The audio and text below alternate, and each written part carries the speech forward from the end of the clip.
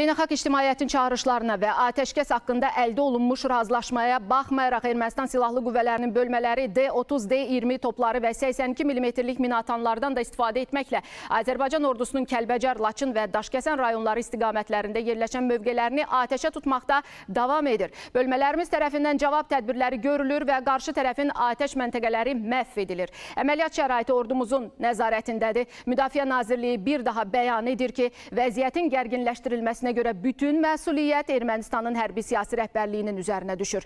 Azərbaycan ordusu tərəfindən yalnız legitim hərbi hədəf alan atəş nöqtələrinə qarşı lokal cavab tədbirləri həyata keçirilir. Ermənistan tərəfi təxribatçı əməllərindən çəkinməli və atəşkəs haqqında əldə olunmuş razılaşmaya riayət etməlidir deyə məlumatda bildirilir.